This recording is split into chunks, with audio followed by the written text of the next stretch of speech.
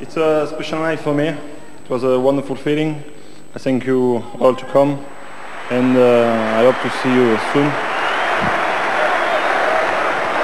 Yes, I quit football because I lost my passion for the game. I'm sorry I gave everything but, uh, for 10 years. I had uh, five wonderful seasons here, the best one of my career, and uh, I love you all very much. Thank you very much.